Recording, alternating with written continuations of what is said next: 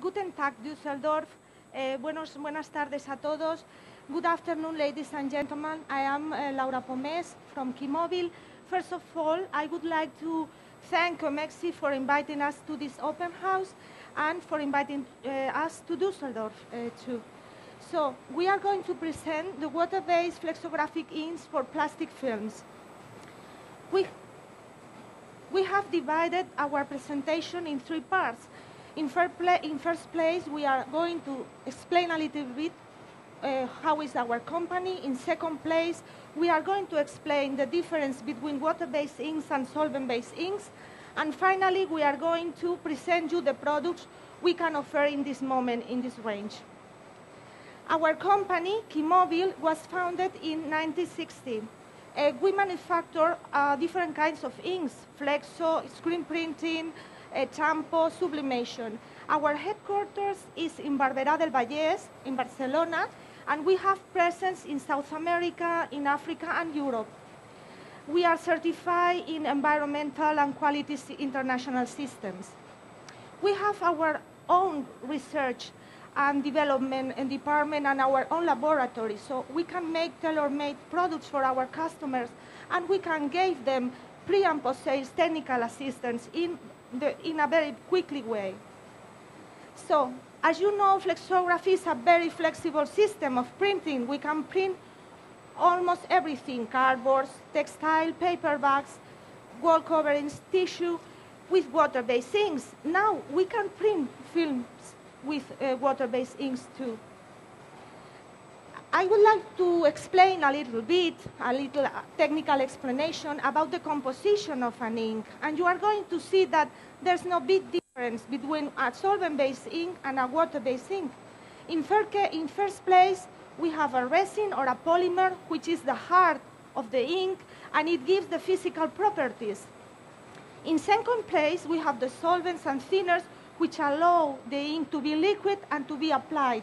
In this case, if the, if the ink is solvent-based, the thinner is solvent, acetate, or alcohol, as you all know. If it's water-based, this thinner is water. So in third place, we have the organic and inorganic pigments, eh, which give the, col the color to the ink. And finally, we have different additives. So we have talked before about solvents. These solvents, when you print a solvent-based ink, go through, go di directly into the atmosphere. So really, we are throwing a very um, expensive product these products uh, produ produ produce the ground level ozone and the greenhouse effect. So there are laws in different countries, in Europe, in America too, that they are beginning to limit these quantities of uh, VOCs or volatile organic compounds. In the case of water-based inks, these compounds are very, very, they have a very, very low uh, level.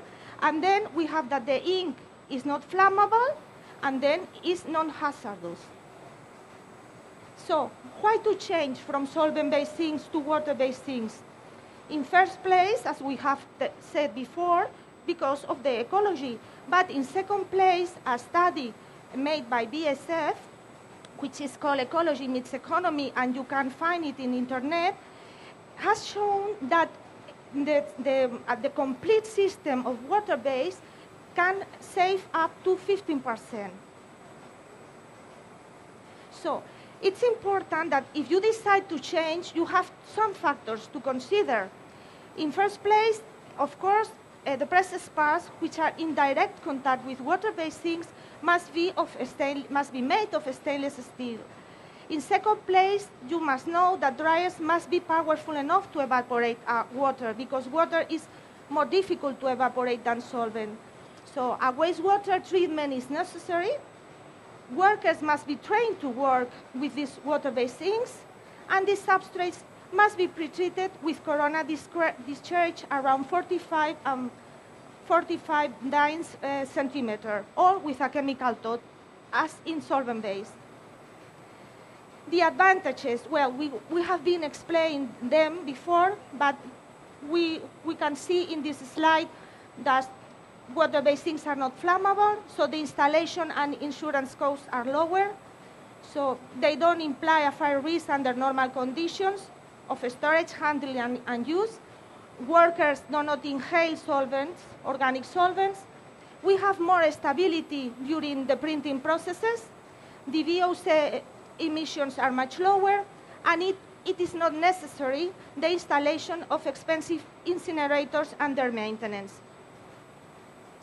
Of course, always there are disadvantages too. We need a wastewater treatment.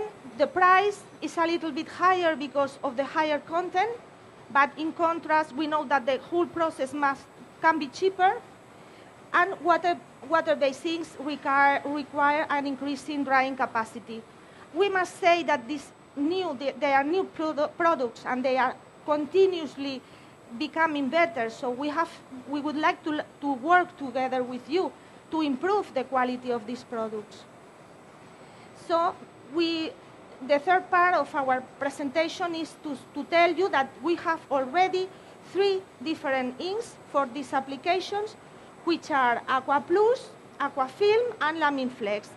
Aquafilm is the optimal cost inks for PE films. It's used for supermarket bags Aqua Plus, which is a high-performance ink for P and PP films. This is the ink which is going to run in the press, and it is especially recommended for process works at high lineature.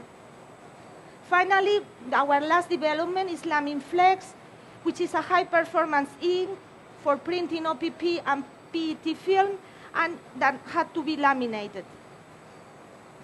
So we invite you to accept the challenge test the new developments in water-based inks, and you will be surprised. So thank you very much for your attention. If you have any question, you have Mrs. Avellana in Düsseldorf and Mr. Lopez here in Rio de Thank you very much for your attention.